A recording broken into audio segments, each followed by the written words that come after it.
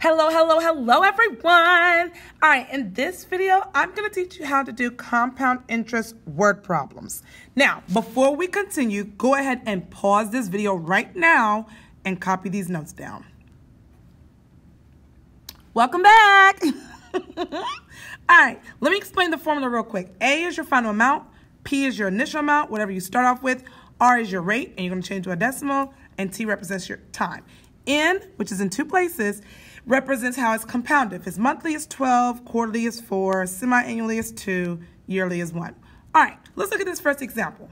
A coin had a value of $1.17 in 1995.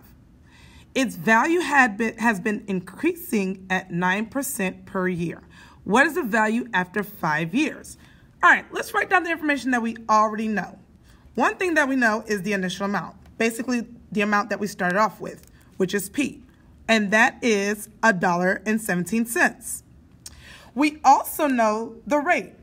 The rate is 9%. And how you change 9% to a decimal? You have two options. You can either move the decimal to the left two times, or you can just type 9 divided by 100 in your calculator. Either way, you get 0.09. We also know the time, because they said 5 years, so t will equal 5.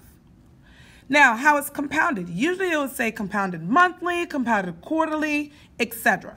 But since it doesn't say any of those things, and it's telling us it's 9% per year, it's compounded yearly.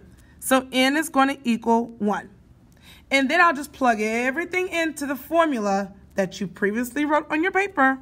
So it'll be A equals 1.17 times 1 plus 0.09 over 1 to the power of 1 times 5. And when I type all of that in the calculator, I'll get 1.800. So, since we're talking about money, I'm going to go ahead and say it's a dollar and 80 cents. That's it.